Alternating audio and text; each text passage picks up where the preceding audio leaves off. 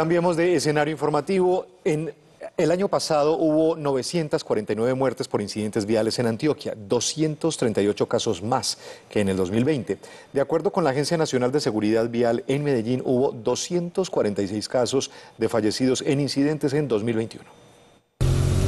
Solo en enero de este año van 73 fallecidos en carreteras de Antioquia. La necesidad de la cultura ciudadana en el usuario de las vías de Antioquia. Nos estamos matando por la velocidad, por transgredir las normas de tránsito, por eh, no respetar a los demás compañeros de la vía.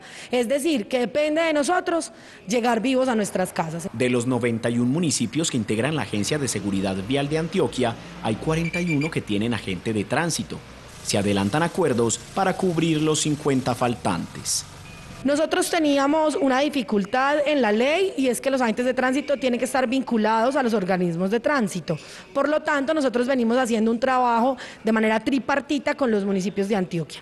Hoy, el 22 de enero, sale una norma nueva que nos va a permitir hacer esta contratación mediante contratación de prestación de servicios. Del balance de 2021, los actores viales más afectados fueron los motociclistas con 232 muertes, seguidos de 149 decesos de peatones y 38 pasajeros fallecidos.